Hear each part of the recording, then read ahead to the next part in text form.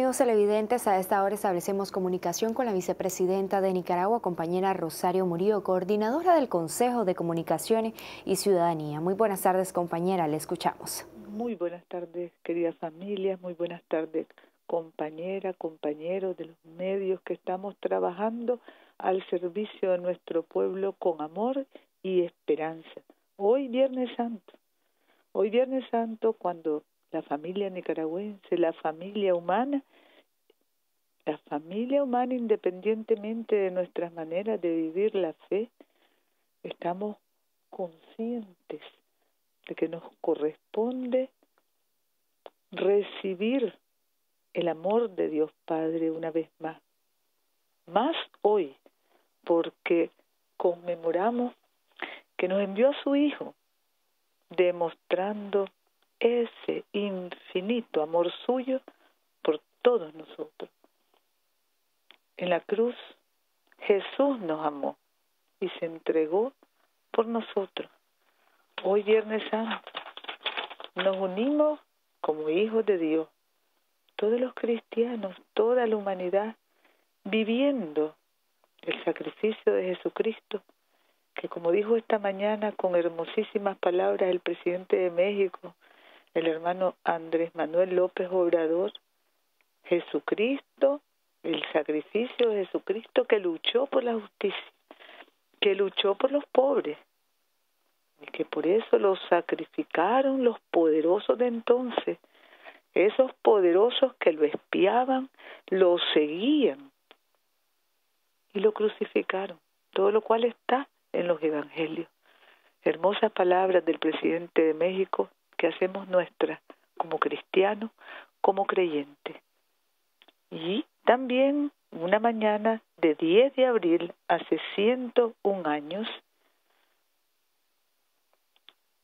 se vivió el asesinato del general Emiliano Zapata, una fecha que conmemoramos los pueblos de Mesoamérica. Emiliano Zapata, héroe, líder campesino, honesto, leal a su pueblo.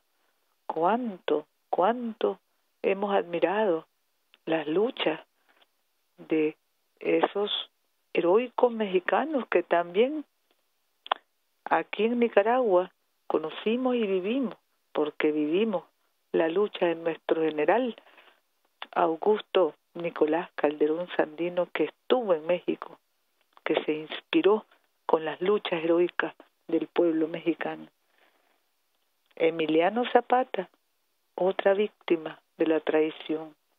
Cuánta lucha, cuánto ejemplo, cuánto amor, comilla, como dice Darío, comilla, con todo el ser, amar con todo el ser y con la tierra y con el cielo, con lo claro del sol y lo oscuro del lodo, amar por toda ciencia y amar por todo anhelo misión de vida, amar, amar, amar. Darío, siempre Darío hablándonos de la montaña de la vida, advirtiéndonos que cuando nos sea dura y alta y llena de abismos, debemos amar la inmensidad que es de amor encendida. Y nos dice, la ciencia de vivir es el arte de amar, el arte de amar ese arte extraordinario que nos hace humanos y que nos hace infatigables guerreros de luz y de cariño. La ciencia de vivir es el arte de amar. Vivimos tiempos de pasión, tiempo de amor porque la pasión de Cristo, la sangre preciosa de Cristo se derramó porque la derramaron, porque le sacrificaron, porque le crucificaron. Aquellos poderosos. Vivimos tiempos de amor porque la pasión de Cristo nos renueva el conocimiento del supremo amor. El egoísmo aborrece el amor. Nos toca conocer y reconocer el supremo amor y practicarlo todos los días. Nuestra misión en esta tierra reconociendo la entrega del Hijo de Dios, nuestro Redentor, que nos dio ejemplo de sumo amor y que con amor nos salvó y nos salva. Nuestra misión en esta vida es servir, es amanecer cada día con ese soplo divino, ese aliento divino, esa fuerza que nos da el Señor Jesús, porque nos amó y nos salvó, y luego resucitó de entre los muertos para darnos vida nueva. Este tiempo de pasión también es de esperanza y nos revive ese extremo amor al que nos debemos y por el que somos y nos llama a reconocer a Cristo Jesús en la vida nueva que estamos creando, sabiendo que Cristo Jesús, Redentor nuestro, Salvador nuestro, nunca nos abandona, nunca nos abandonará. En estos días y tiempos que pueden parecer de desconsuelo para muchos en el mundo, entregamos, confirmamos, reconfirmamos nuestro compromiso de vida, nuestro compromiso cotidiano con la lucha por amor. Y en estos momentos, amor quiere decir cuidar la salud de todos, cuidarnos con cariño y fortaleza, entregarnos a cuidar la salud de todos. Esto en el caso de Nicaragua, de todo nuestro pueblo, de todas las familias sin excepción, en particular de nuestros viejitos, abuelitos, abuelitas, personas con padecimientos crónicos, con enfermedades que se acarrean desde hace largo tiempo, personas vulnerables y a la familia, como decíamos, en todas partes y sin excepción. En los dos ciclos, en los dos ciclos de visitas casa a casa que seguimos realizando además, hemos hemos llegado a 2.5 millones de hogares con amor cristiano, con amor y esperanza. Y trabajando para cuidarnos, para aprender a cuidarnos y para practicar ese cuido todos los días. Hoy Viernes Santo, nuestro amor a todos los pueblos del mundo, que seguimos con esperanza, sabiendo que somos de vida, de resurrección, y que la sabiduría divina deberá hacernos a todos, luego de este tránsito de este aprendizaje, porque este tránsito debe ser de aprendizaje, la sabiduría divina deberá hacernos mejores, conscientes de que somos hermanos, colaboradores, cooperantes, caminantes, en una nueva relación entre seres humanos. Somos complementarios, no somos solos, debemos colaborar, cooperar y complementarnos como humanidad y que la sangre preciosa de Cristo con seguridad nos deje. Decimos con seguridad nos dejará, pero decimos con seguridad va a dejarnos como señal de salvación de todos y de nuestra casa común esa condición mejor. Que el mundo mejore, que sigamos tratando de reconocer nuestros límites como seres humanos, cambiar de rumbo. Dice hoy en la misa del Santo Padre en el Vaticano, dijo hoy predicador de la Casa Pontificia, hermano capuchino Raniero Cantalamesa, que el mundo mejore, que nos, a ver, aquí dice, nos hemos olvidado de los muros que construyen, que se construyen. Y el virus no conoce fronteras. En un instante el virus derriba todas las barreras y todas las distinciones de raza, de religión, de censo, de poder, dice el hermano canta la mesa, predicador de la casa del sumo pontífice, el Santo Padre, y dice, citando la profecía de Isaías, de las espadas se forjarán arados.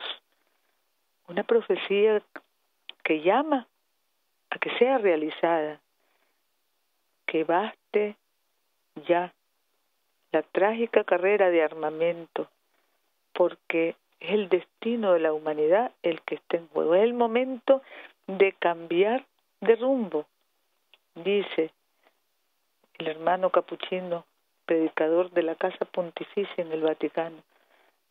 Y lo dice en presencia del Santo Padre.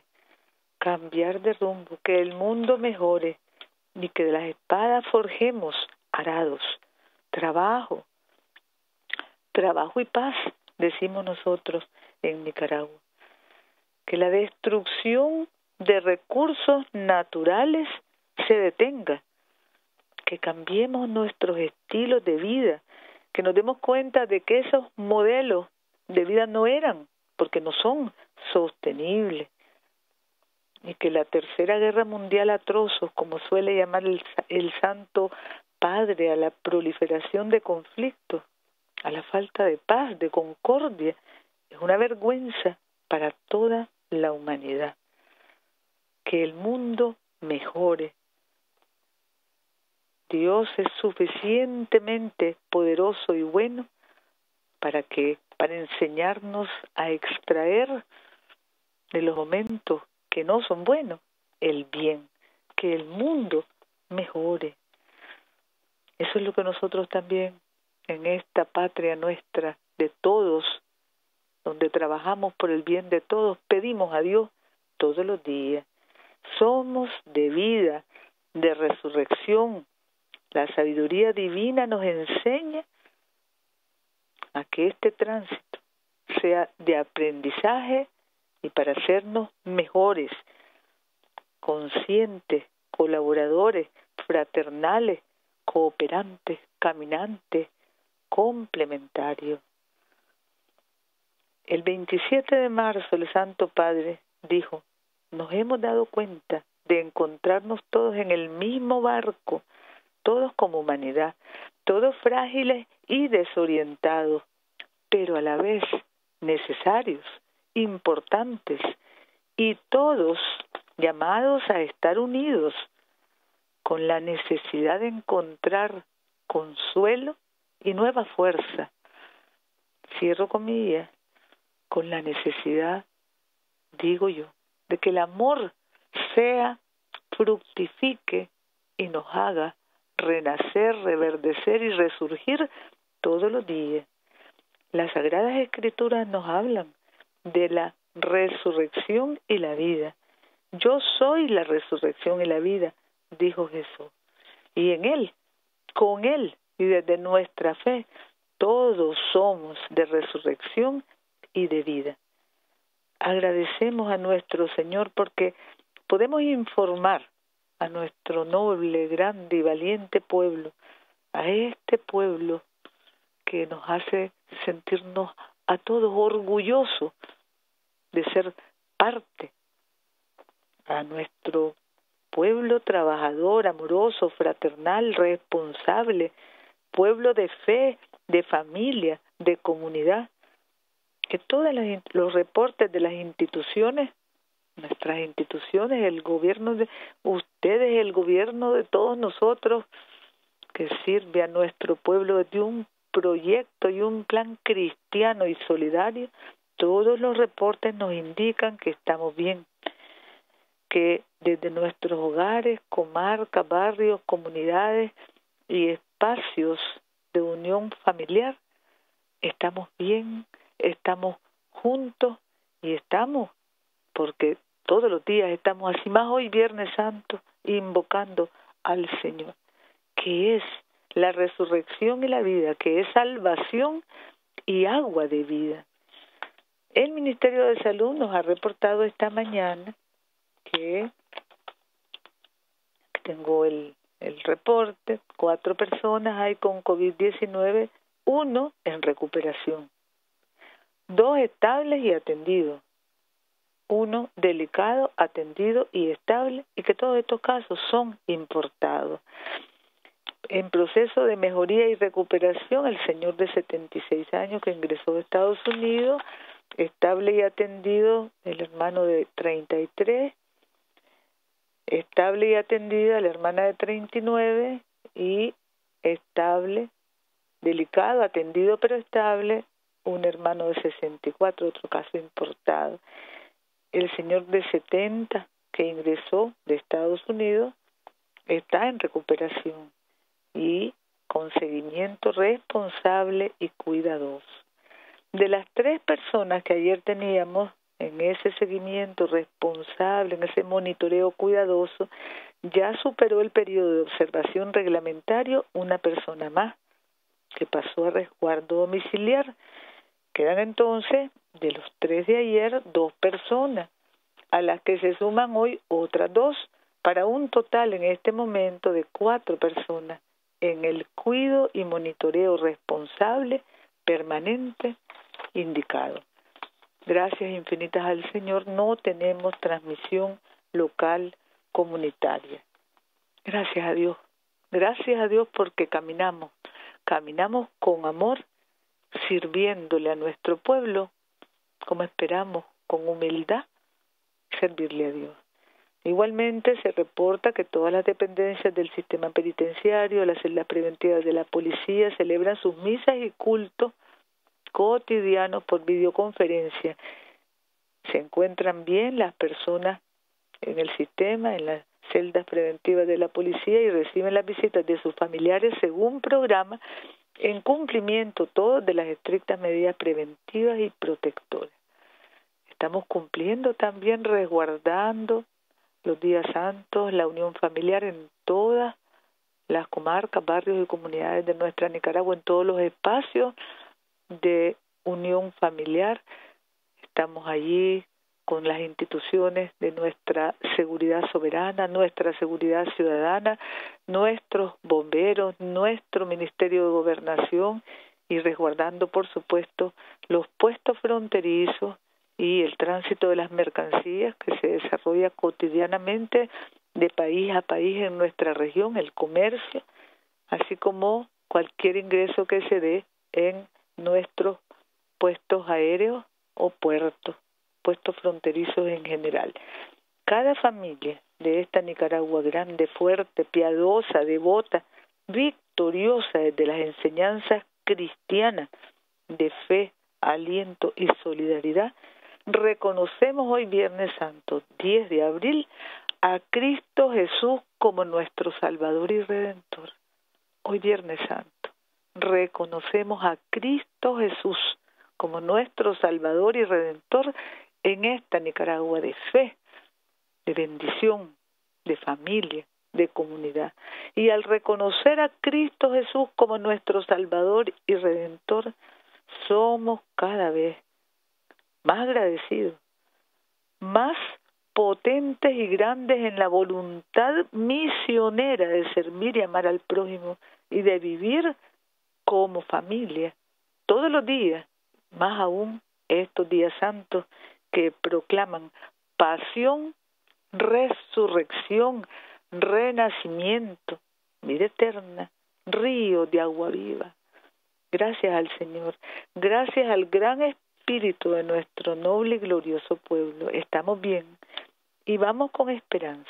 Y sobre todo estamos conscientes de la hermandad, la solidaridad, el cariño, el buen corazón que nos debemos todo, con todos aquí en nuestra Nicaragua y con todos en todas partes de este mundo que repetimos con absoluta confianza en Dios, debemos hacer mejor. Un mundo de humanidad para la humanidad y un mundo de convivencia y complementariedad, un mundo de paz, un mundo de diálogo, un mundo fraternal y complementario entre todos, porque aquí vivimos todos y por el bien de todos. Nuestras oraciones compartiendo fe, esperanza, vida, porque somos de vida en Cristo Jesús con todos los pueblos y gobiernos del mundo, dedicados a promover el tiempo mejor que todos necesitamos y que todos queremos, con amor libre de egoísmo, un mundo libre de egoísmo, un mundo de paz. En la cruz Jesús nos amó y se entregó por nosotros. Reconocemos, vuelvo a decirlo, a Cristo Jesús y lo digo con todo el sentimiento del corazón creyente de todos los nicaragüenses. Reconocemos a Cristo Jesús, Salvador del mundo, Cristo Jesús, que nos amó, que se entregó, que nos ama y se entrega por nosotros. Le reconocemos como, salvada, como Salvador, Redentor, reconocemos su luz, vivimos su esperanza. En la cruz Jesús nos amó y se entregó por nosotros.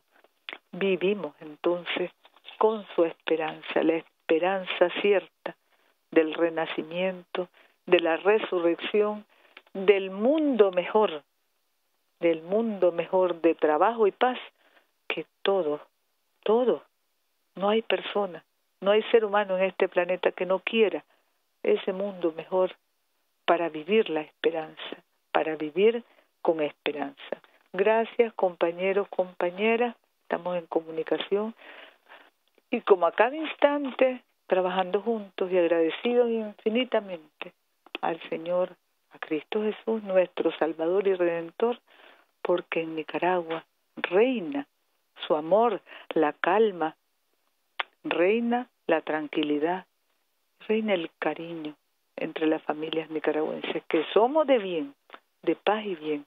Gracias compañeros y compañeras en comunicación en cualquier momento, nuestro comandante Daniel Aquí todos, bajo su dirección, trabajando, coordinando todos los esfuerzos para cada día, cada paso que demos y cada paso que damos sea un paso hacia ese mundo mejor, hacia esa Nicaragua mejor, que todos los días, todos los días queremos porque a cada instante nos pronunciamos a favor de ese mundo y de ese país mejor y caminamos hacia él con la esperanza puesta en Cristo Jesús, nuestro Salvador y Redentor.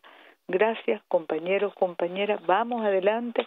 Abrazo de nuestro comandante Daniel para todos y para todas. Gracias.